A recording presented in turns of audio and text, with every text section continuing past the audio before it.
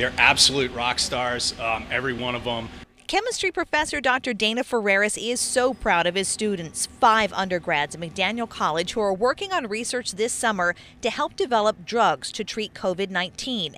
In the lab, they're making small molecules to inhibit a very critical protein in the coronavirus life cycle. By inhibiting this one protein, we're hoping to stop the viral life cycle and, and knock down the viral load and, and basically, um, you know, cure you. The students are juniors and seniors, mostly chemistry and biochem majors. They follow safety protocols, masks, and social distancing. It's practical, hands on experience they wouldn't be able to get otherwise. We get to be here and work in the lab. Like other majors don't get to do that, and I'm like really excited. Especially with the specific research we're doing, I did not expect this opportunity. Coming into it, I didn't think I wanted to do this as my job, but then after even just two weeks, I was like, okay, I can see myself doing this forever. So it's been life changing.